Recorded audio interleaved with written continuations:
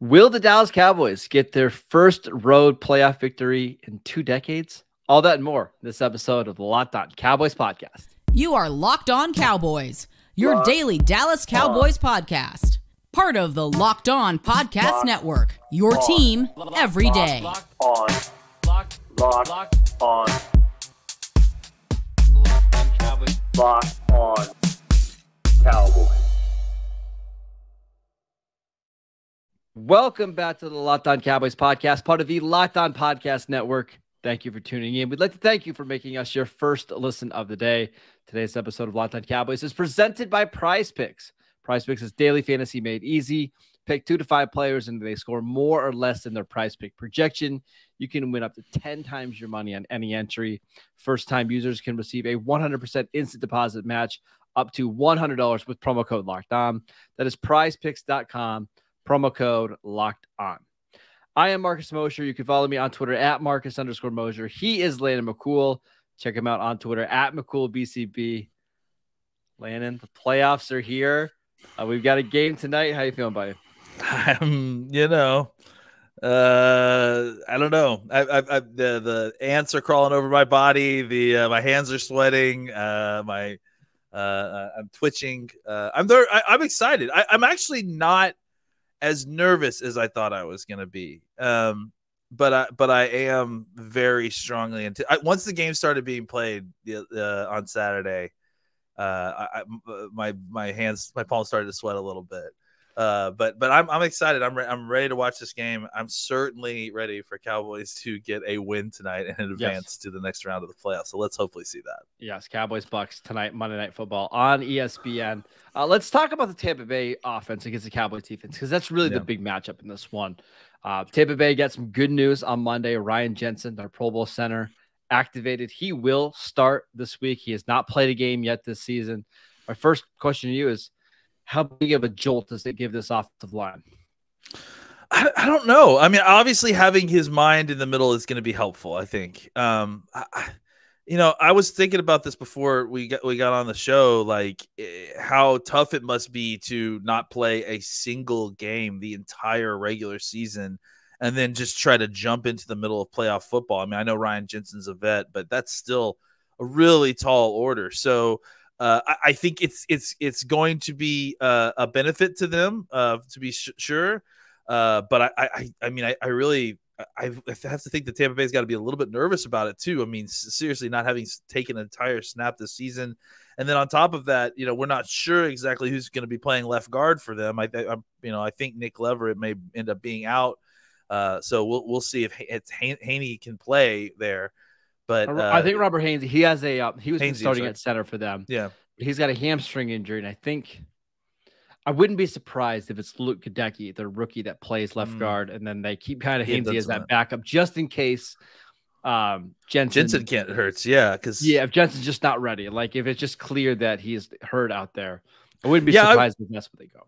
I wonder. I mean, I'm assuming he got a, a week of practice and everything, but still, it's like that's that's a tall order to come back from a, a season long injury and then start your first game. In, in I, I, think they wanted him back though because he helps the run game. Like he's such Absolutely. a better run blocker, and maybe that's why they're rushing him back. But I don't know. It's just it's another unknown in this game. It, it to me it feels like Tampa's really going to try to establish the run in this game. Yeah, I mean, obviously, I think that they feel like it did, the, you know, did wonders for them last time. I mean, they didn't score a ton of points, but at least they were able to kind of keep the, control of the, the, game at some points. But um, yeah, I, I, I, I, invite them to. I, honestly, I think this is a much better run defense than it was in Week One, so uh, that might play right more right into our hands, honestly, a little bit. So. Um, it's going to be interesting to see exactly how Jensen performs and whoever's in at left guard, whether it's Goedeke or, or or Hainsey and, and how they're able to play. Uh, we should also talk about the Cowboys defense in this one. Uh, no yeah. Trayvon Mullen. He's been ruled out with an illness. We really don't know who's going to be the other outside starting cornerback tonight. I, I, have got a feeling it'll probably be Nahshon Wright to open the game, but I wouldn't be surprised if we see a lot of Xavier uh, uh no. Xavier Rhodes. Um, let me ask you this: How do you think Dan Quinn is going to try to combat the short quick passes in this game. Do you think they're going to let them do that in order to take away the big plays, or do you think we'll see you know more corners up at the line of scrimmage, more safeties at the line of scrimmage? What do you think? I think they'll mix it up a little bit. I I, I thought it was funny that you said Trayvon Mullen got Trayvon Mullen got ruled out due to illness. It feels like he got kind of ruled out due to his play. Um, it feels but... like one of those things like, hey, we're just not sure what our cornerback depth is going to look like the rest of the playoffs if we make it, but we know we don't want you playing right now. Yeah. so, um, I, I, I, listen. I, I think that they'll probably mix it up a little bit. I mean, I, I do think that there is some uh, prudence to the idea of kind of keeping it all in front of you and just making solid tackles. It seems like from watching the Bucks that their game plan is to get the ball to their playmakers and not necessarily in complicated situations and just hope that they break tackles and and that hasn't always been super successful for them. So um, I think for the Cowboys, you know, you just you know, I think with Diggs, you're, you're going to figure out where you want him and then kind of maybe on any given play, either you know, it'll be interesting to see if, if they keep him on his side or if they travel him a little bit with with folks and then I I wouldn't be surprised if you saw him kind of match up with with alternating choices between Evans and Godwin just on on any given snap. Uh, but I do think the Cowboys would be kind of beneficial to kind of try to keep it all in front of them. Where the Cowboys are going to get in trouble is if they start getting deep passes thrown on them. Um, and and so I think that if the Cowboys can keep it all in front of them, rally to tackle, and then on the deep passes, just you know hope that their their pass rush can get home and, and make Brady uncomfortable uh, then then I think that's a pretty good success for winning the game. I would love to see Dan Quinn blitz a lot in this game. Like I know Brady mm-hmm. is, is so good against the blitz, but there's just no playmaking anymore, right? Not that there ever really was, but if you can get a guy free, uh, you know, a free release at Brady, he'll throw the ball out of bounds. He'll spike it underneath. I, I just want to hit Brady as much as possible, make him feel uncomfortable. And truthfully, I know this is probably going to come back to haunt me, but I'm not super afraid of their guys after the catch. Like that's just never been no. Mike Evans's game. Godwin is pretty good at it. Like Godwin isn't the Deebo Samuel, but what he is is he's strong, right? Yeah.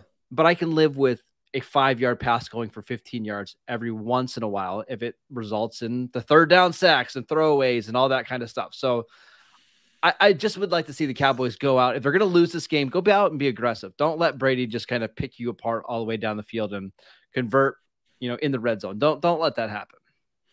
Yeah, I, I, mean, I definitely agree that they need to get after Brady and and make medium to long passes just not comfortable. You know, just like if you, if you're gonna throw the football, uh, we want you throwing it immediately as soon as you get the snap. You know, and and, and there's nothing you can the Cowboys can do to prevent him from throwing the football as soon as he gets snapped to him. But if they rally to tackle, uh, and they keep those kind of short passes to short gains, eventually Tom's going to have to drop back a little bit further. He's going to have to hold on to the little the ball a little bit more, and that's what the Cowboys can start yep. to tee off and really get aggressive with him and, and, and hit him and uh, get hands on the football and that sort of thing. So. Uh, I think they have to they have to stop the that first aspect though. Have they to. have to stop the quick passing game. They have to stop the screen game. That sort of thing. And they just can't let Tampa Bay be super efficient on offense. Like if they're going to run the ball, it's fine. Don't give up five and six yard runs on first down. If they're going to throw the ball, because what you know that's going to happen is Brady's going to catch a snap and shotgun, throw yep. it sideways, and they they want Godwin to you know turn it into an eight yard gain to get them to second short. Don't let Tampa Bay do that kind of stuff, and they're going to be fine. Let's uh let's talk about the Cowboys offense against this Bucks defense, Landon. But before we do that, I want to let you know that this podcast is brought to you by Prize Picks. All you have to do is pick two to five players, and if they score more or less than their prize pick projection, you can win up to 10 times your money on any entry. No competing against other people. It's just you versus the projections available. Prize Picks offers projections on any sport that you watch. That includes NFL, NBA, MLB, NHL, PGA, college football, men's college basketball, women's college basketball, soccer, WNBA, esports, NASCAR, tennis, MMA, boxing, disc golf, Euro basketball, cricket, and more. Entries can be made in 60 seconds or less. It's that easy. They're currently operational in over 30 states and in Canada. Just download the Prize Pick app or go to prizepicks.com to sign up to play daily fantasy sports. First time users can receive a 100% instant deposit match up to $100 with promo code locked on. That means if you deposit 100, they'll give you 100. You deposit 50, they'll give you 50. Don't forget to enter promo code locked on at sign up for an instant deposit match up to $100. I want to let you know that this show is sponsored by BetterHelp Therapy Online. Unfortunately, life doesn't come with a user manual. So when it's not working for you, it's normal to feel stuck. Therapists are trained to help you figure out the cause of challenging emotions and help you learn productive coping skills, which makes therapy the closest thing to a guided tour to the complex engine called you. BetterHelp has connected over 3 million people with licensed therapists. It's convenient, secure, and accessible anywhere 100% online. Everyone deserves to feel their best. BetterHelp makes it easier to get started. As the world's largest therapy service, they've matched millions of people with professionally licensed and vetted therapists, all available 100% online. That means no waiting rooms, no traffic, no endless searching for the right therapist. Get unstuck with BetterHelp. Learn more and save 10% off your first month at betterhelp.com slash locked on. That is betterhelp.com slash locked on. All right, Lynn. Cowboys offense against Tampa Bay's defense. How confident are you feeling about them in this game after only scoring was that three points in week one? I certainly feel a lot more confident than than you know, the score indicates in that week one game. I, I just think that this is a better offense than it was then uh, you know, they have kind of figured things out a little bit more. That obviously things have been reconfigured. La- last week, notwithstanding, I, I do think that this is a, a group that uh, has some ability to move the football on a, a, team like this. There are some disadvantages that the Cowboys can take, uh, can compress, uh, including Lamb in the slot. Um, I don't know that this is still the same kind of run defense that it was earlier in the season. Um, you know, I think it's just so hard to tell because like they have Vita Vea and they have Akiem Hicks. When those guys are healthy, they're really hard to run on. It's just they haven't really been healthy for, for a while. Yeah, it, it, I mean, it'll be interesting to see. They didn't get a ton of snaps last week. They were able to kind of rest the, the, these guys a little bit near the end of the game. So it'll be interesting to see exactly you know what we get from them. I do know that that the the other big thing that you know that is huge difference is Shaq Barrett. Obviously, we talked about that and, and his effect in the pass rush game, but I also think that his ability as a two way player is something that's underrated, and, and I think that's something that, that the Bucks are going to miss because the Cowboys, I feel certain, will definitely try to run the football at Anthony Nelson and, and especially try on uh, Shoyinka. Mm-hmm because you know he's a little bit undersized. He is a nice little pass rusher, but I think that there is some uh, some size advantage there. So I would look for the Cowboys to kind of get the ball on the edge, and especially considering the fact that you've got a secondary that's a little bit beat up. You got a couple different guys in that secondary, including a safety with shoulder injuries. Test test the run game on the edges, see how willing these guys are to make tackles. Uh, and and make sure that this is kind of a continually physical game uh, as as well as as you know a, a game of matchups and and in uh, trying to scheme guys open because I think that will have a positive effect in your ability to get open. This needs to be a big Tony Pollard game for me. Like he's he's the guy that can make this defense pay with his quickness and speed. He's only had 16 carries since Christmas Eve. Like it's it's pretty clear the Cowboys have been trying to limit his touches, kind of getting ready for the playoffs. This feels like a game where he needs to touch the ball early and often because he is the one guy where you could swing him the ball, you know, on the outside and have him take it 30 yards, or he hits a seam and boom, he's gone for a touchdown. It just feels like this needs to be a big, big Pollard night.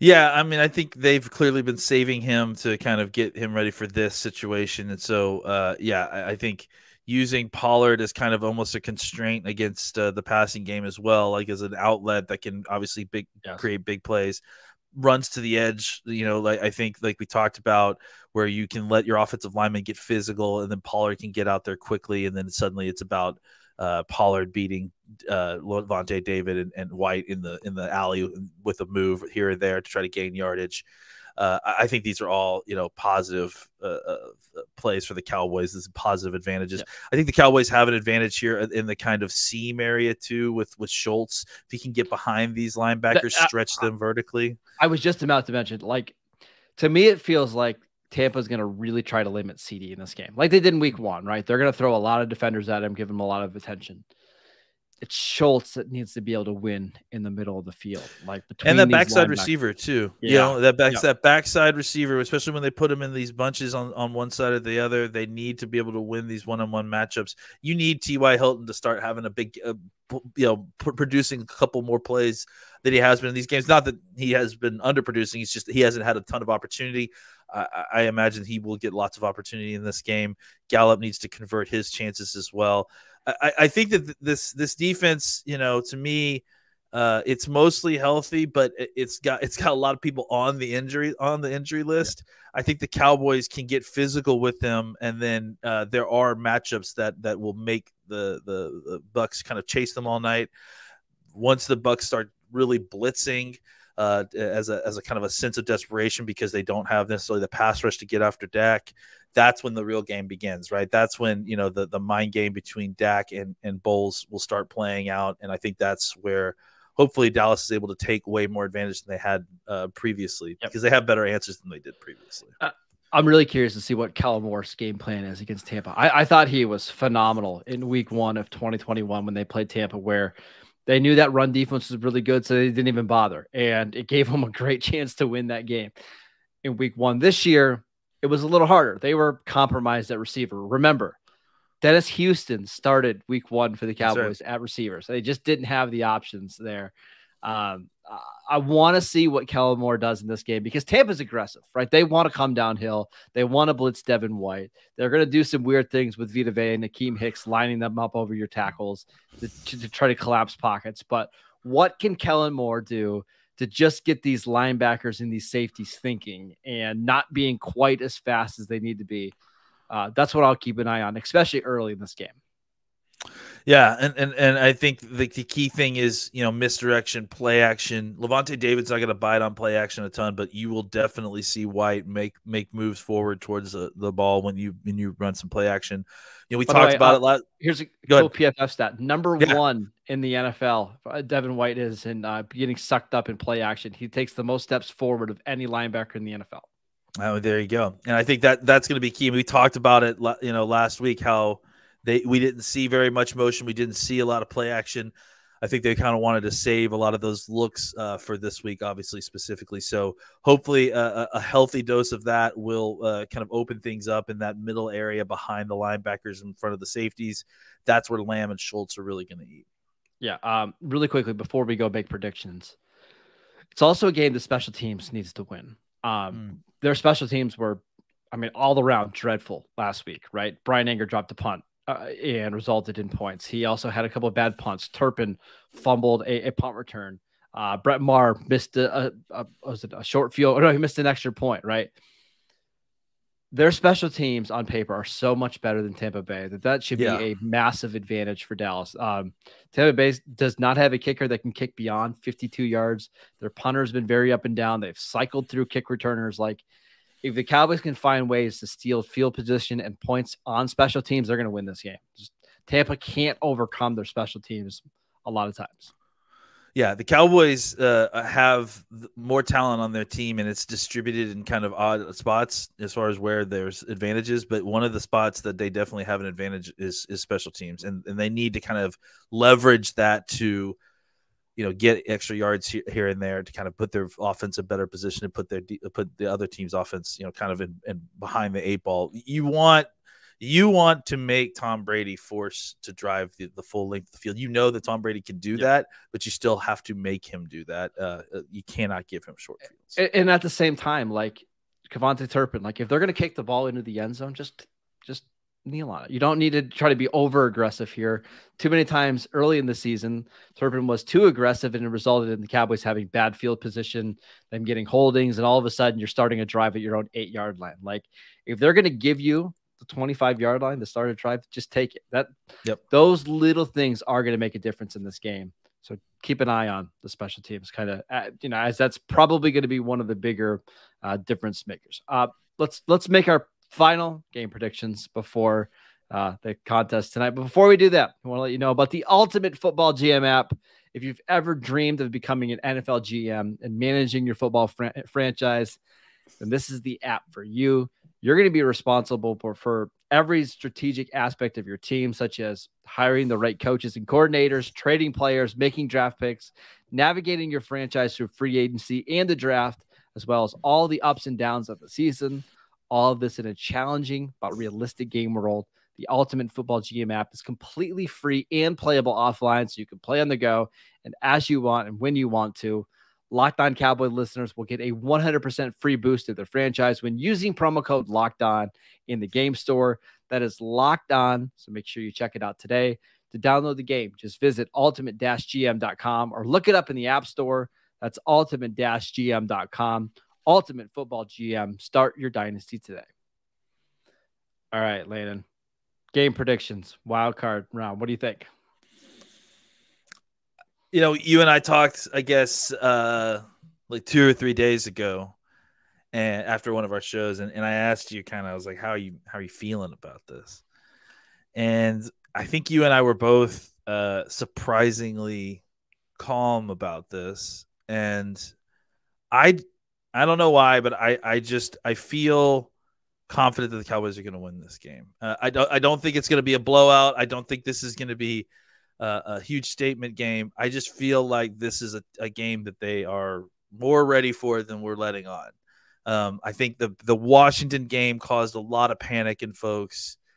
Uh, but but to me, I, I, think that they they understand what the, the the the assignment is in front of them, and that was part of what was happening in Washington.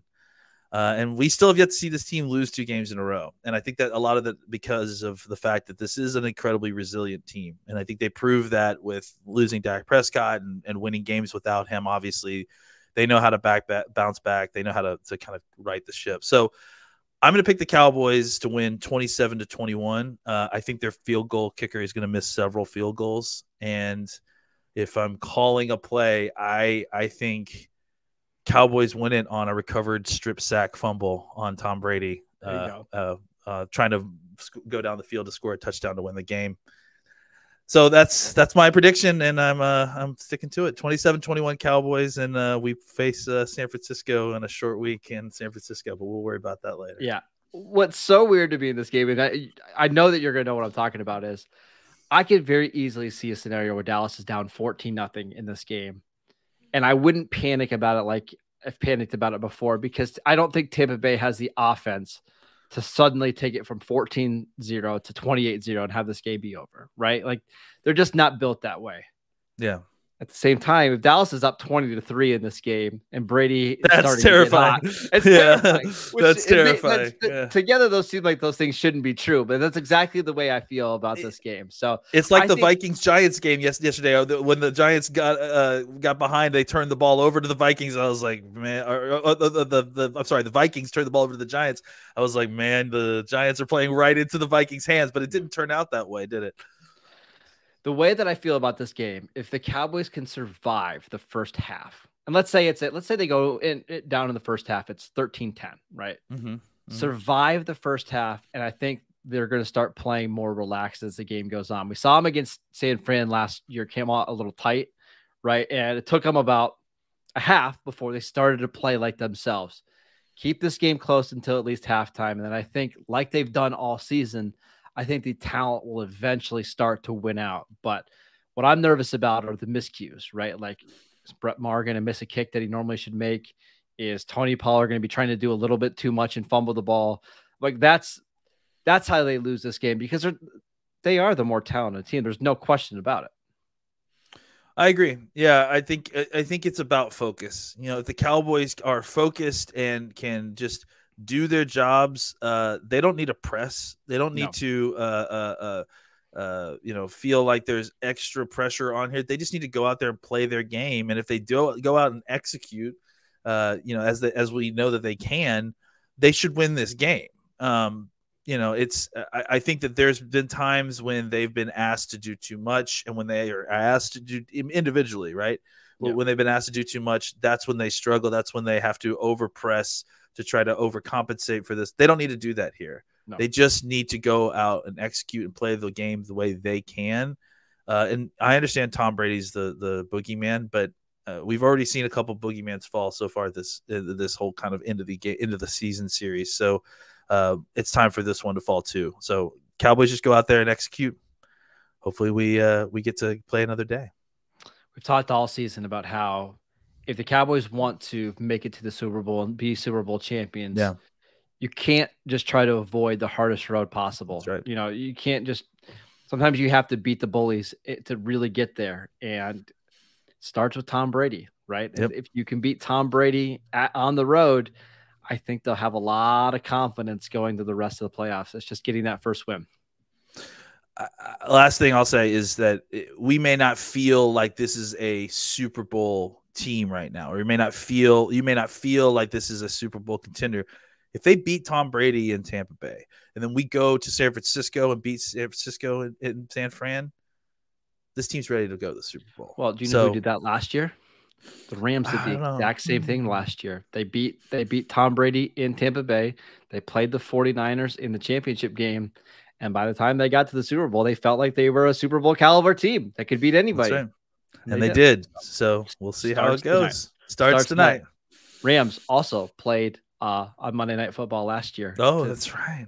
and they went and played a short week. So a lot of lot of similarities there. So uh, that is it for today's show. Thank you guys for tuning in. We'd uh, like to have you guys check out the Locked On NFL podcast. Uh, they're bringing you the local insights you love to the national spotlight with daily conversations on the biggest NFL stories. Locked On NFL available on YouTube wherever you get your podcasts. All the same places that you'd get the Locked On Cowboys podcast. Landon, are you and I coming back tonight to record a podcast after the game? We'll see how we feel. Listen, no matter what, we are here for you guys on the other side of this game. No matter what happens, it's not the end. So let's all remember that. Yes. We will we will be here for a soft landing or for celebration and, and uh, party poppers on the on the other end. Either way. Yeah, So we'll, we'll I mean, then. otherwise, we're going to be getting ready for San Francisco on Wednesday, Thursday, Friday. If if not, we're going to be talking about coaching hires and all that kind of fun stuff. So we'll be here the rest of the way with you. Here we go. Breathe, deep breaths. Uh, Here we go. follow Landon on Twitter at McCoolBCB. I'm at Marcus underscore Mosher. Enjoy the game. Hey, you only Yeah. get so many playoff games in your That's lifetime. right. Enjoy it. Uh, we'll see you guys next time.